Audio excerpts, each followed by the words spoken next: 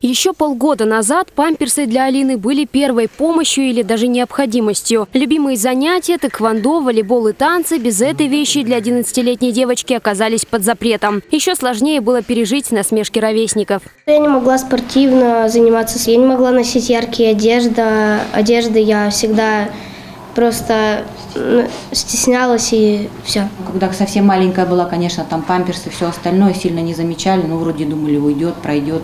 Но потом, конечно, когда уже пошли в садик, и памперсы не стали носить, то это уже, конечно, стало все явно. Долгое время врачи ссылались на неврологию, однако никакое лечение результата не давало. Обеспокоенные родители привели дочь в Краевой центр охраны материнства и детства. Тщательное обследование показало у Алины врожденная патология – удвоение почки. По словам врачей, таких случаев в последнее время все больше и причин множество. Врожденная патология почек, которая возникает в первые недели беременности. Ну, что-то повлияло, флюорография, там, гриппом болели, алкоголизм, к примеру, и так далее. Такие вещи возникают. По словам врачей, число юных пациентов с урологическими заболеваниями увеличивается. Только за текущие 9 месяцев их около 700. К сожалению,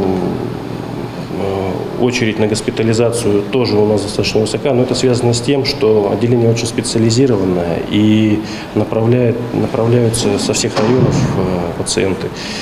И мы в своем составе имеем 30 коек.